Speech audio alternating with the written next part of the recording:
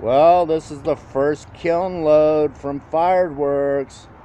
Also, Art Barn. I promised you guys I'd let you see. So, I have, I think, 16 different pieces. Let's look. First one is just a vase with uh, different textures and a little scully looking thing. I don't know. I wasn't really happy with how these things came out. There's the second one. It's just an it's an owl vase. It's just like red clay with an owl on it. I hope you can see it. Then this one is cool. It's just a little vase. And put snakes on the top, which are kind of trippy. I don't know, I'm just trying to come up with different ideas. Then I have a little duck. Little duck one.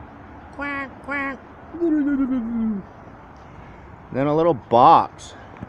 I met this girl, so I made her a box. I was going to put a ring in it. It's just a cool little box. Mm. Then a wall hanger. Just a little stupid design. I don't know. Some kind of weird dinosaur looking bird creature of the sea or something. It's kind of different, huh? I don't know. And here's like cat pillar. Uh, can't get you. Uh, it's just like a cat, weird Egyptian idol thing or something. And a little, little pig man.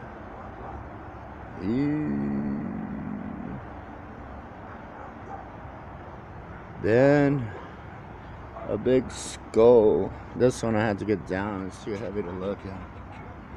Yeah, it's a death skull.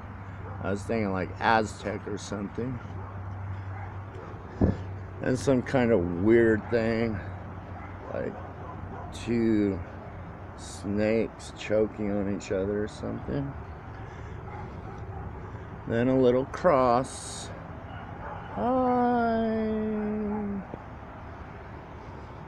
And just a little face cup. It's just hollow cup. Then a little fairy like dude. See that guy? Can't see the camera right now. Uh, he's just a dude. Then my sea serpent, I kind of got to just show you like this. I can't really pick it up because it's three different pieces. And then just a plain base.